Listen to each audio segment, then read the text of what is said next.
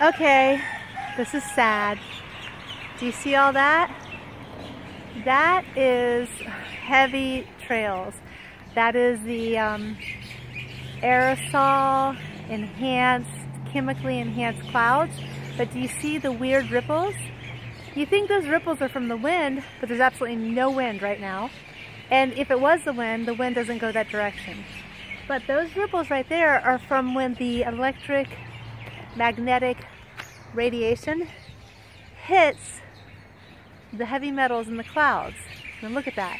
If it was true that this was based on a wind direction or pattern, then it would all be going the same way. But it's not. So pay attention to this. We do know that there is geoengineering. It's existed for a while. And unfortunately, there's evidence of it right here in Maui. I'm at the Maui Arts and Cultural Center. And you can just see that they must have hit the solar radiation with the heaters, the solar heaters, or what do they call it, ionic spheric heaters or whatever, within the last hour because this is what happens to the metals in the clouds, in the skies, when you microwave the atmosphere.